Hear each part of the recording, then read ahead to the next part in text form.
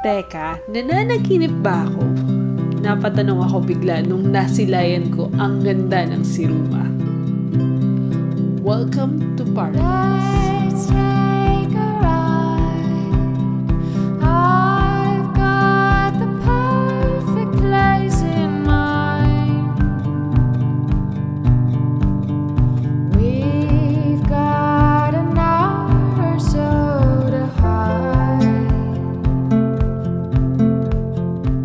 Salamat sa mga nanood ng part 1 ng video na to. Sa previous episode, nagbike ako ng 150 kilometers from Quezon Province to Camarines Sur. Nagtuto kung paano magluto ng laing o natong at pumadyak papunta ng Siruma via Calabanga Road.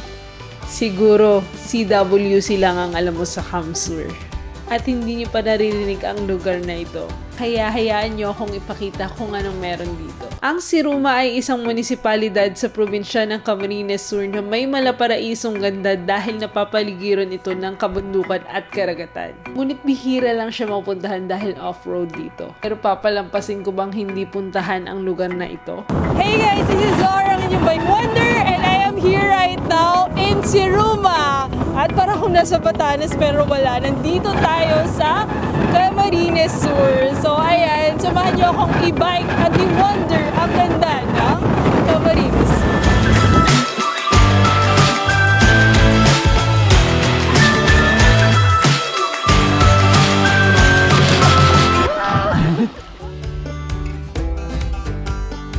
Sinamahan ako ng dalawang bikers na taga Goa para makapunta dito. Beautifully nga may nakasabay pala ako dito kasi medyo nakakaligaw yung ruta. Actually, ang ganda niya. Sa baba pa lang, medyo naubos nga lang yung oras ko kakatake ng picture. Amazed na amazed ako kasi parang ito yung gusto kong vibe, yung loaded ka, tapos pupunta sa mga magagandang scenery. Pero medyo struggle lang siya for me. I love off-road, pero hindi ko siya masyadong ma-effort. Enjoy dahil loaded nga ako. So, battle siya. Nakarating ako bandang alas 5 na. Umuwi na ang mga naghatid sa akin at sinalubong ako ng mga caretakers ng Cute Cat. Nag-dinner na rin ako kasama ang owner ng resort. Ngayon, alam ko na kung bakit sila nag-decide na tumira dito. na tumira dito! Napatanong ako sa may-ari kung meron bang lupa dito. Pero syempre, wala naman tayong pambili. Kaya pala dito na sila tumira. Mapapasaya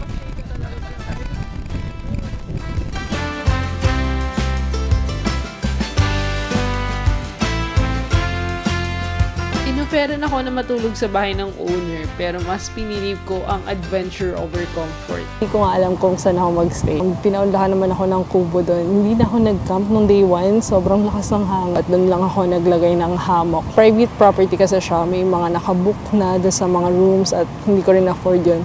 So meron naman ako option doon sa beach pero parang ayoko pa bumaba doon sa beach. At ang plan ko lang talaga is magstay dito ng overnight. And umabot ako ng 3 days sa sobrang ganda ng lugar at napakabait ng mga tao.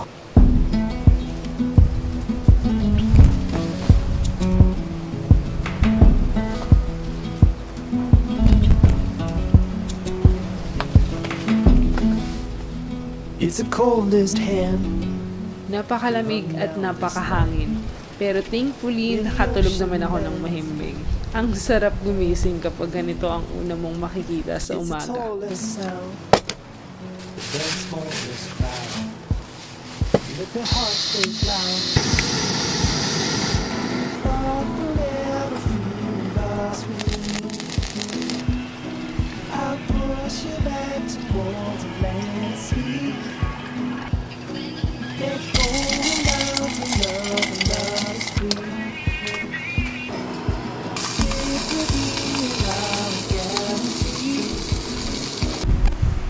never lost alone the crowd with me.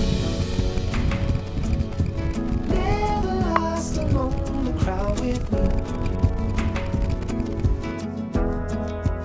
Everywhere you go, I'll be.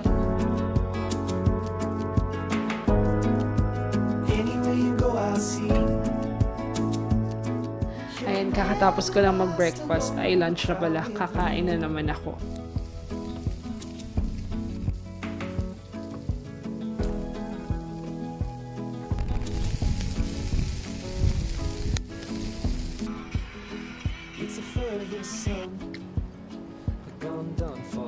Nakakatawa pala talaga tong ginagawa ko. Sabi ko, magbabike ako para pumayat. Pero ang naging ending, puro food trip. Dahil walang guest ngayon, pinayagan nila akong magstay muna sa Black House. Dalawa lang ang pinaparent nila dito. Good for around 10 na rin ang lugar na ito at marirent nyo privately for 15,000. The leaves colored brown. You want someone stick around.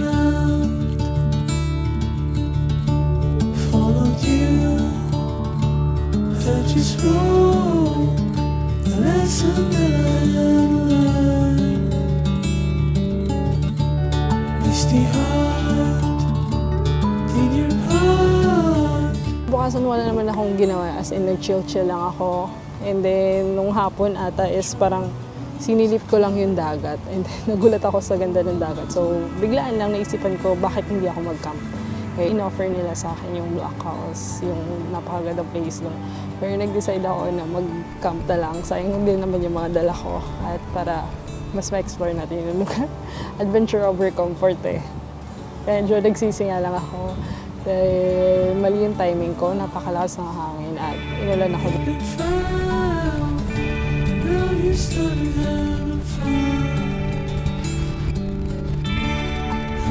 been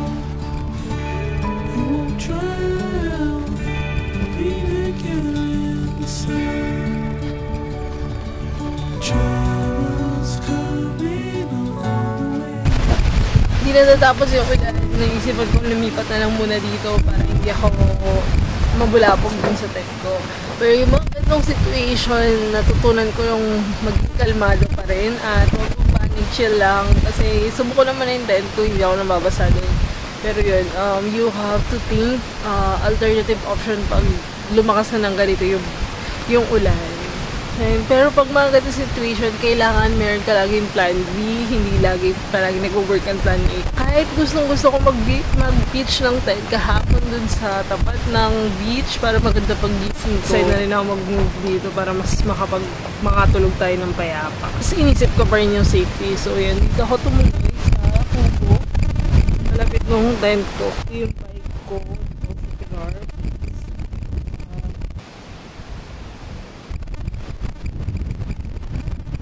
Malakas na lang malakas yung hangin. Kaya rin. Hindi ko na kaya kumalma ngayon. Ang lakas na ng hangin. Buti na lang na lumipat na ako dito. Sabi oh. No, no, no, no, no, no, no, no.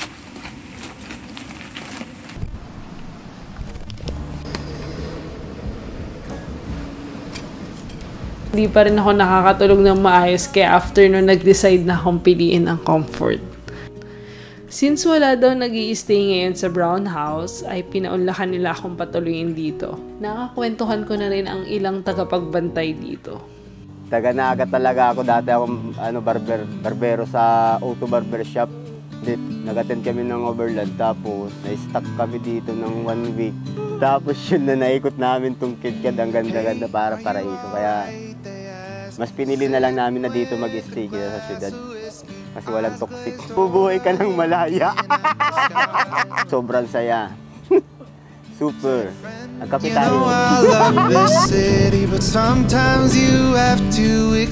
me. Kahit ako gusto ko sanang magtagal dito, sabi ko nga, pwede ba akong mag-apply as caretaker din ng lugar? Papastay ka talaga dito at mas pipiliin mo na lang ang simpleng buhay kesa sa ingay ng mundo.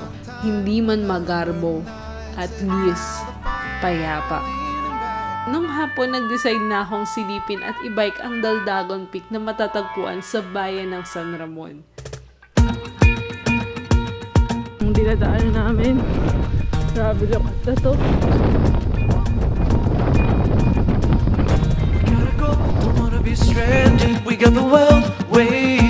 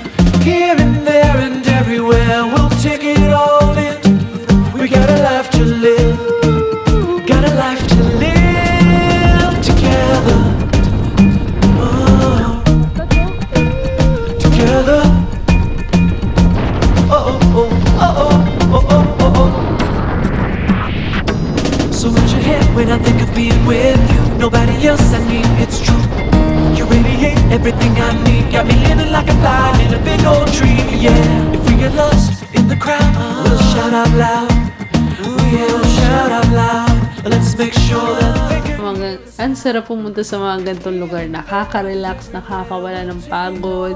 Kahit ang dugo-dugo nung pinagdaanan mo, kung makakakita ka ng mga ganito kaganda, sobrang relaxing niya. Ito yung mga pangarap kong campsite pero hindi ko siya ma-achieve. Napakalakas ng hangin. Speechless, nagulat ako na may ganito. Di mo in-expect na nasa gitna ng mga bukid, meron palang ganito sa tuktok. So, all you have to do is wander around. Lapit lang ang Daldagon Peak sa Cudcad at siguro tatlong kilometrong off-road lang ay mararating mo na ito. Open for public ito at wala kang babayaran para makapunta dito. Dapat ready ka lang maputikan. We'll take it all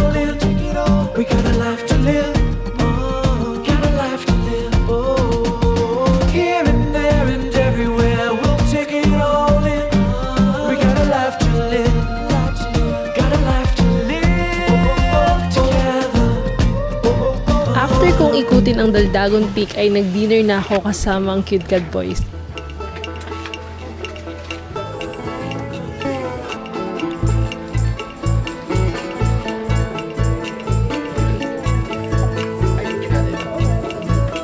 Wastelands At kinabukasan ay nilipot ko na ang dagat. Wala pa ring araw. Nililipot ko lang right now yung beach dito sa baba ng Siruma. Grabe, sobrang peaceful niya at napakalinis. Yun, name-maintain siya ng mga tauhan dito. At ang ganda sa mga lugar na to kasi as in not commercialized, wala masyadong tao. At sobrang safe ng lugar, yung mga tao sobrang bait.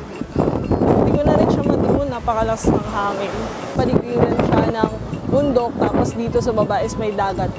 Doon ako, doon ako nagstay sa brown house kagabi, tapos doon ako galing sa Dalgagon Peak, tapos nandun yung pinagsayahan ko nung day one. Bali, dun yung ano, pinagstayan ko nung nakaraang araw. Tapos, may singer naman sila dito. Tapos, pwede ka rin mag-surf. Nagpaalam na rin ako sa mga Cudcad Boys. Ayan nga pala si Kuya Ingo, pinataba niya ako dito sa Cudcad. serve